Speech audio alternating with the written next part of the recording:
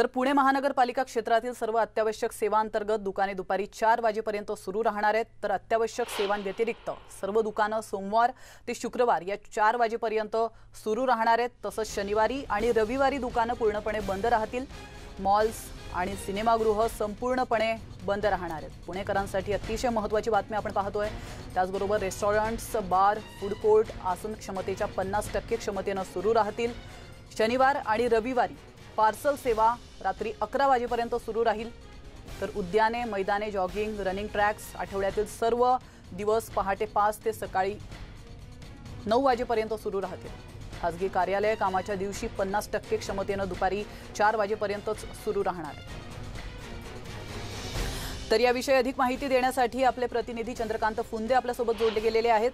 चंद्रकांत कशा पद्धतीने लोकांचा प्रतिसाद पाहायला मिळतोय? प्राची या नवीन नियमांचं निर्बंधांचं म्हणेल मी सर्वाधिक फटका व्यापारी वर्गाला बसणार आहे.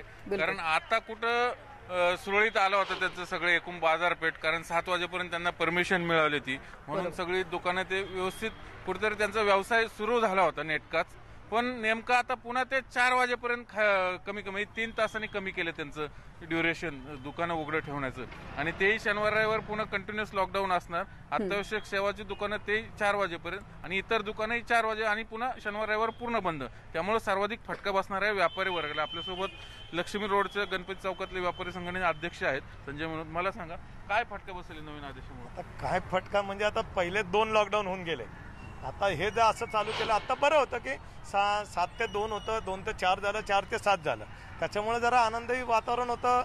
दुकानं चालू होती व्यापार सुरळीत येत होता. व्यापाऱ्यांच्या आमच्या व्यापाऱ्यांचे पैसे देणं चालू झालं होतं. कामगारांना दिलासा मिळत होता. आता परत चार झालं की परत मग काम चौपट होणार आहे. त्याशिवाय- काय काय फटका बसणार आहे? नाही, महत्त्वाचा मुद्दा असा आहे की फटका असा बसणार आहे की एक तर शा- शिक- शनिवार रविवार बंद. म्हणजे महिन्यातले दहा दिवस तिथंच गेले. आता हे अर्धे म्हणजे चार वाजेपर्यंत म्हणजे आमच्या दृष्टीने अर्धाच दिवस. म्हणजे अजून दहा दिवस गेले. म्हणजे महिना फक्त दहा दिवसाचाच भरणार. मग दहा दिवसामध्ये आम्ही असं किती व्यवसाय करणार आणि कोणाकोणाला खायला प्यायला घालणार? म्हणजे आमच्या कामगारांना आम्ही खायला प्यायला घालायचं का ब- बँकेचे व्याज देत बसायचे का र- रेंट भाडे देत बसायचे काय काय करायचं का त्या दहा दिवसामध्ये? म्हणजे शासनाने या गोष्टीचा जरूर विचार केलाच पाहिजे. म्हणजे किती दिवस आम्ही सहन करायचे? कारण पूर्ण दोन महिने अख्खे आम्ही घरी बसून काढले. तुम्ही एक प्रस्ताव दिला होता मग पालिकेला की वेळ बदलून हवी नेमकी. हा आता आमचं काय म्हणणं आहे की बाबा तुम्ही जी सकाळी तुम्ही जे सात ते सात सात ते चार आता केले त्याच्या बदली आम्हाला सात ते सात नको तीन तास पुढे द्या. दहा ते सात द्या आम्हाला. त्याच्यामुळे काय झालं, कारण सकाळी कुठलाही ग्राहक वर्ग दुकानात सात वाजता येऊच शकत नाही खरेदीला. त्याला घरचा आवरून बिवरून कमीत कमी तो नऊ दहाला मार्केटमध्ये येतो. तो नऊ दहाला आल्यानंतरच तो खरेदीला करू शकतो. तो जरी आम्हाला वेळ तेवढीच द्या. आम्हाला वेळ नका वाढून देऊ. पण आम्हाला तेवढं पुढं एक्सपेंड द्या. त्याच्यामुळे आमचा धंदा वाढेल. तुम्ही काय सांगाल? काय गेले दीड वर्ष आपलं कपड्याचंच दुकान आहे लक्ष्मी रोडला मी प्रशांत टिकार. गेले दीड वर्ष व्यापारी या आर्थिक संकटात अडकलेला आहे करोनामुळे. पण आता पहिली लाट गेली दुसरी लाट गेली आता नवीन म्युटन आला डेल्टा प्लस आला अजून भविष्यात अजून येईल. मग व्यापाऱ्यांनी बंदच ठेवायचा का व्यापार? का रिस्ट्रिक्शन मध्येच राहायचं. किती वर्ष या रिस्ट्रिक्शनमध्ये राहायचं उत्तर घेऊ. आपल्यासोबत पालिकेचे स्टँडिंगचे अध्यक्ष स्थायी समिती अध्यक्ष हेमंत रासने साहेब. तुम्ही आता व्यापाऱ्यांचं म्हणणं ऐकलं. काय त्यांचं दुखणं आहे ते? त्यांना वेळ वाढवून मागत नाही ते. वेळ बदलून हवे त्यांना. शक्य नाही आत्ता हा जो काही निर्णय आलेला आहे तो शासनाकडनं आलेला आहे. आपण जे महापालिकेला ज्यावेळेस त्यांनी आमच्या स्तरावर निर्णय घेण्याचा अधिकार आम्हाला दिला होता त्यावेळेस आम्ही जो सात ते चारची वेळ होती ती सात ते सात केली होती.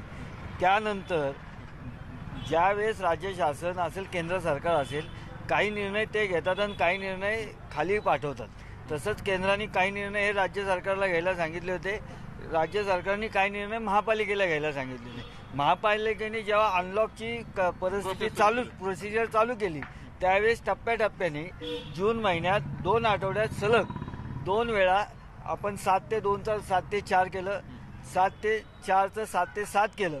मागच्या शनिवार रविवारी आमचं असं बोलणं झालं होतं की हा जो मागचा शनिवार रविवार आहे तो open शे- करू.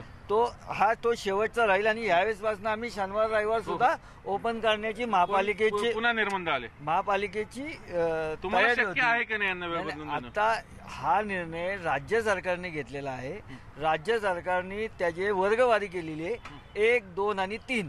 आणि पुणे शहराला आणि पुणे जिल्ह्याला तिसऱ्या टप्प्यात टाकलेले आहे. आणि त्यामुळे तिसऱ्या ते शक्य नाही. टप्प्याचे निर्बंध हे शासनाने जे दिलेले आहे त्याची अंमलबजावणी करणं आम्हाला गरजेचं आहे. ओके. बघितलं मी यांनी पालिकेतले जे सत्ताधारी आहेत भाजपचे पदाधिकारी यांनी सांगितलं की व्यापाऱ्यांची मागणी आम्हाला रास्त वाटते मान्य आहे पण ते पॉसिबल नाही कारण हे आदेश राज्य सरकारने काढलेले आहेत. बिलकुल. एकूणच या सर्व प्रतिक्रिया बघितल्या तर जनता नाराज आणि नाखुश असल्याचं